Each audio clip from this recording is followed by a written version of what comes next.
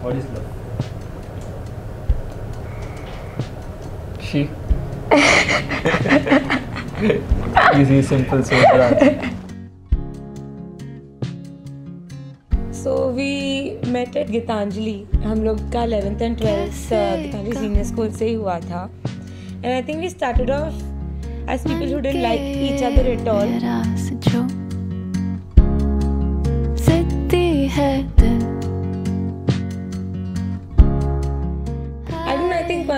started talking उसके बाद ही ऐसा लगा कि ओके मेरे फ़र्स्ट इंप्रेशन ही रॉन्ग था and I think once we started talking उसके बाद लाइक फ्लो फ्लो में हम बहुत बातें करने लग गए थे and then that's how we started liking each other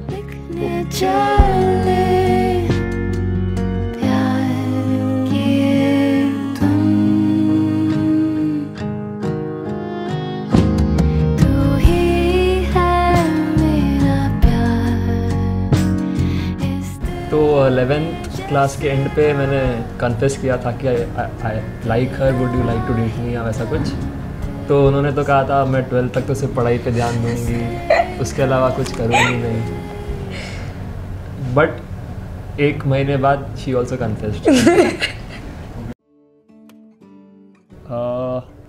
well, it was not a particular moment or anything like that, but it, as a relationship progressed i realized that i have you know i, I am being vulner- vulnerable with her matlab, very much easily i'm telling her things i wouldn't tell anybody else वे मैं लहंगा चूड़ा पाके तेरी गलियाँ छिटुर गईयां वे मैं तेरी हो गई माही नी मैं तेरे संग जुड़ गईयां I think he is a very genuine person मतलब ही ऐसे पीपल प्लीजर वो बिल्कुल नहीं है ही फील्स कि जो उनको सही लगता है एंड वो बोल देता है, वो बोल देता like even he wants to cut me off he will cut me off but he never be like कि हाँ मैं इसको बस हंसाने के लिए या खुश रखने के लिए कुछ भी बोल दूँगा। I think that is a very nice trade that I think people should also have आँखों में आँसू शाम से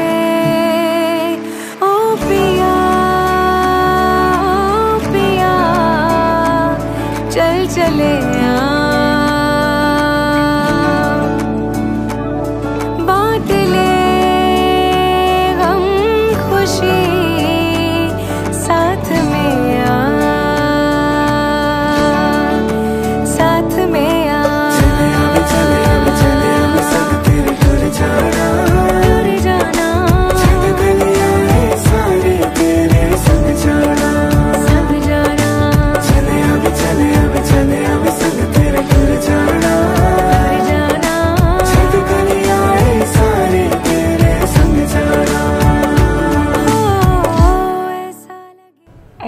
most emotional would definitely be the bridal entry because uh, जो मैंने रिकॉर्डिंग भी की थी that is just something जो हम actually follow करते हैं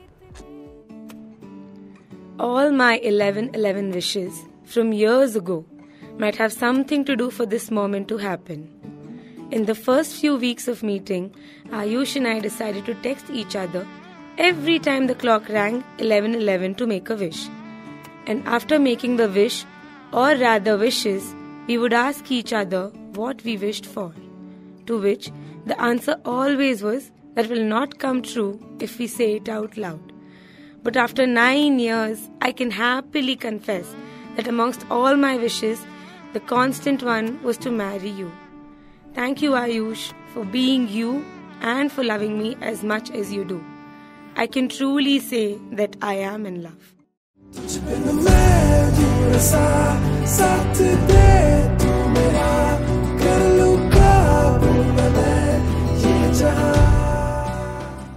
Uh, I think जो Rangrasya में the dandiya that happened, so it was actually it actually signifies the time that we first met, like we first started talking.